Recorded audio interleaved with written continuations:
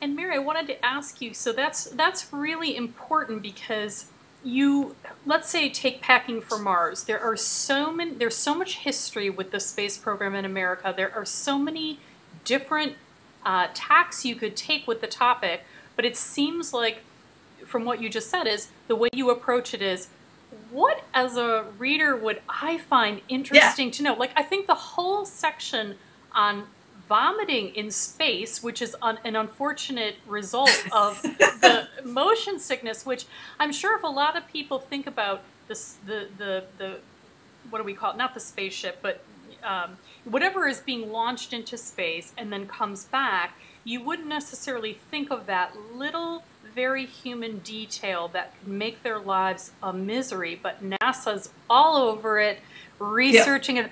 Um, so it, you're kind of thinking like maybe the normal reader stuff that the normal reader would be curious about or would want to know or you wanted to right. know more about right um, i write very much the books that i would have wanted to read mm-hmm. and, and with and it was kind of amazing to me with this with the space program that there wasn't such a book there's a lot of astronaut memoirs which are fascinating and kind of compelling and dramatic at times but there really wasn't the, the book that i would have wanted to check out of the library. So I thought, all right, I'll write it. right. right. And I think um, there isn't like one dead chapter, and every single time you turn the page, you're thinking, oh no, what's she going to tell us about next? Oh no. And there is this kind of, but the, the detail I think is kind of important because you know if there wasn't enough detail it would be just simple absurdity or humor and if there was any more detail it would be totally bogged down and really serious but you seem to manage to hit that sweet spot of I did want to know more about the throw up. I don't know why, but I just got to a point I thought, yeah, why do and dogs do get motion sick and why is it that rabbits don't? I mean, all of that stuff yeah. just kind of comes to life. Yeah, I have a. a I think it's I, I part of it is insecurity as a writer. I think I'm always expecting the, the reader to set down the book at any moment. Oh, this is getting a little boring. No, wait, wait, wait, don't go away. I got something else for you. Come back. So I, I think it's that fear because there's so many books I pick up and I think, wow, this is going to be really interesting. And then I find myself going, ah, okay, maybe not for 200 pages though. And I put it down and I like, I have this fear of people putting down the book. So I'm like, and also it's, it's fun for me to write that way. So I, it keeps me entertained too. Right. Okay. So you're, gonna you're you're thinking, okay, I'm I'm going to do the space program, but I'm going to do these few aspects of the space program. How do you start that research? And then is the immersion is obviously just one part of it, but what are some of the other right. aspects of being able to research a book like this? Well, there's a tremendous amount of time spent uh, getting up to speed because I start from the point of an absolute idiot, I, I, ignoramus. I don't, I really have not followed the space program. I never even read the right stuff. Right. So there's this, there was this many months of uh, trying to get myself up to speed with the his because I cover some history too, and I'm looking for those aspects in the history, like you know the Enos, the chimp. I wanted to cover not Ham, but the second space chimp. Yeah.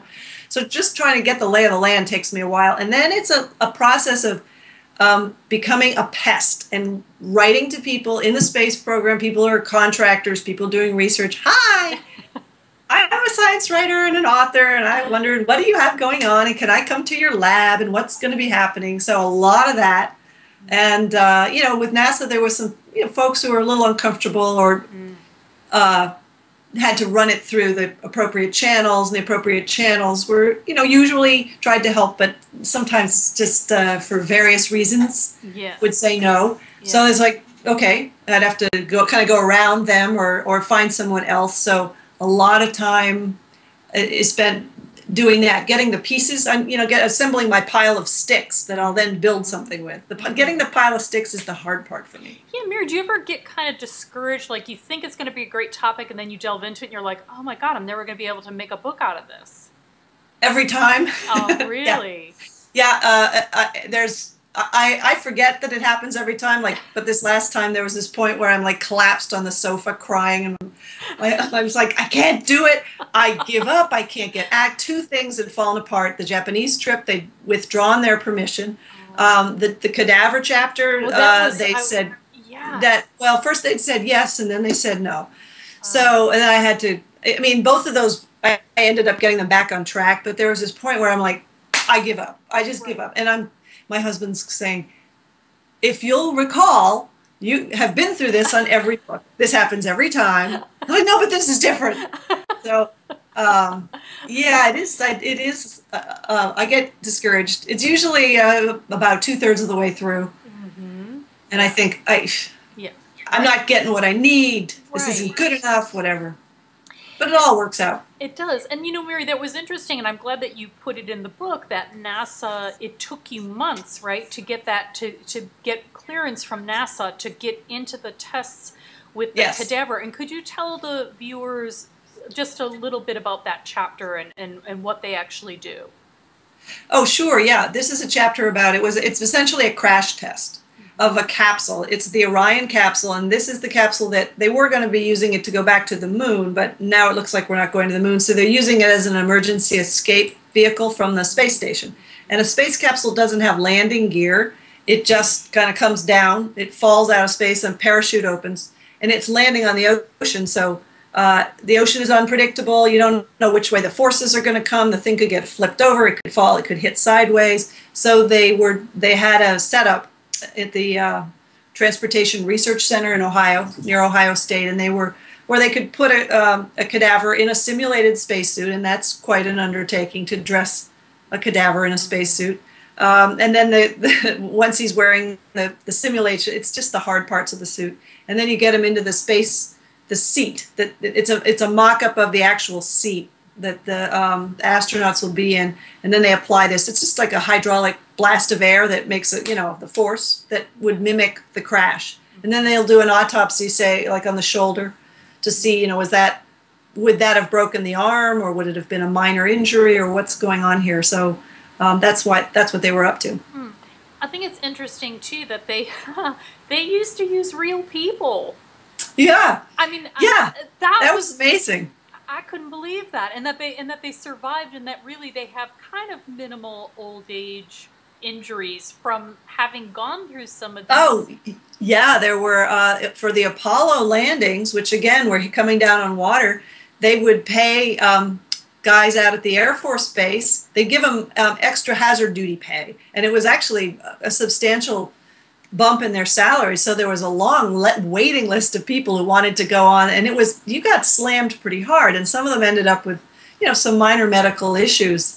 Uh, there was another. There was at one point one of the companies was paying bums, like, like getting people off the street Oh and God. paying them, which was a little, yeah. yeah, a, a little out there. This was the '60s, and you know before uh, political correctness uh, took took hold. Right. um, I'm trying to figure out too, Mary. Um, if as you were doing the research, um, do you do you kind of suspend your own opinion about what's going on? Is important to be uh, not politically cor- correct, but to just kind of go forth and just say, well, this is the way NASA does it, or this is the way the Body Farm does this sort of stuff? Or are you kind of gathering an opinion about some of these things you observe as you go forward? Um, I'm I I am.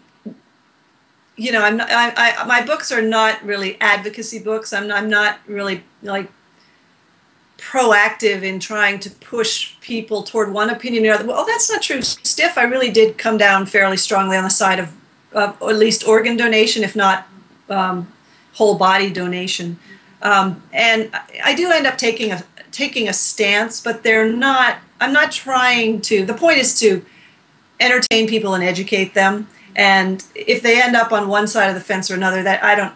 It doesn't matter to me where they land as long as they learn something. So that's not a big a big part of the book. Although I do, uh, yeah, you can't help but have an opinion when you uh, when you're reporting on on stuff like this. And and they're like, for example, in Stiff, the I think the only the only there was only one project where I really felt that it was an inappropriate uh, use of bodies, and uh, so you know that comes through. Yeah. Oh, right, right. So you just kind of let the writing stand as you're preparing the chapter. It's just whatever you felt at the time from having observed and lived through some of the stuff. You just kind of let it just stand in the book. Yeah.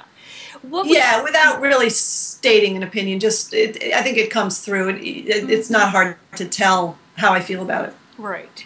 And what would you say is you? I'm sure each book you've done, uh, you could probably think off the top of your head the most memorable insight you had, or what was most memorable about preparing the book. But for pa- when packing for Mars, what would you say is the thing that most surprised you, or shocked you, or otherwise just kind of threw you?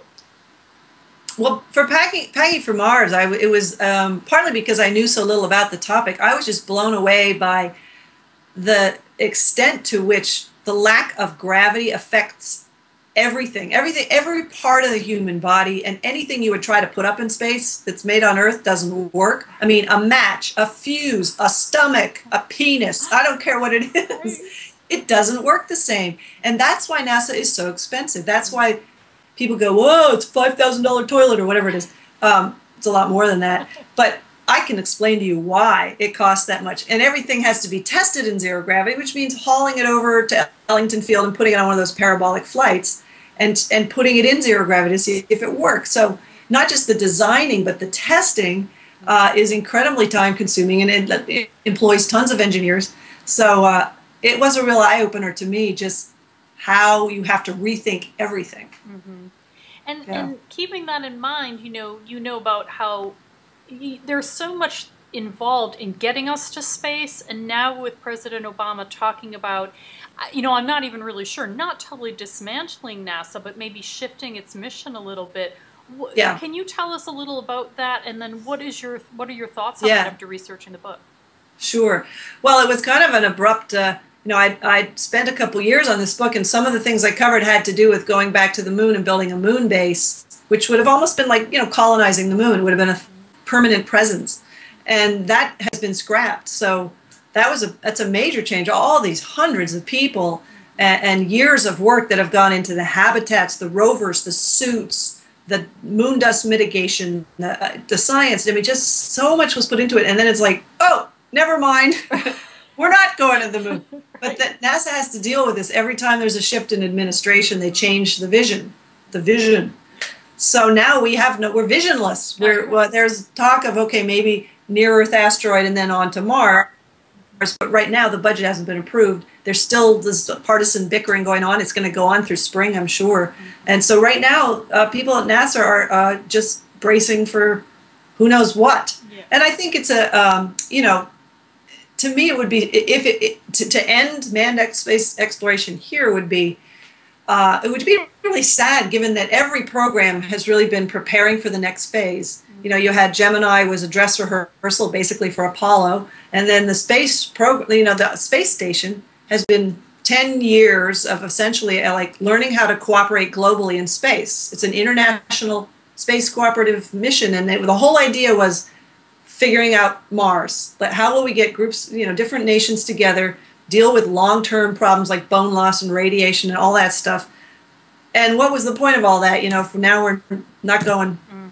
You know, so uh, hopefully it'll be back on track. You know. Yeah, and I just wonder if, if the idea of colonizing space or whatever we want to say is getting increasingly more important. I'm not saying trash Earth and then let's just go to another planet and leave it behind. Right. But but now that we're having so many yeah. of these big global issues, I'm just wondering if maybe it isn't increasingly important to look into right how to survive on other right. planets rather than less. Yeah, and the other thing is that the things that you learn when you figure out how to get to Mars, we're talking about extreme recycling, you know, drinking urine and sweat and um, using, reusing everything you have. And that mindset is growing, you know, more and more uh, appropriate mm-hmm. and uh, applicable. So, is in a way, astronauts are kind of these poster children for sustainability and uh, a Mars mission, you'd be you really would the technology that would come out of it, I think, would be especially appropriate now.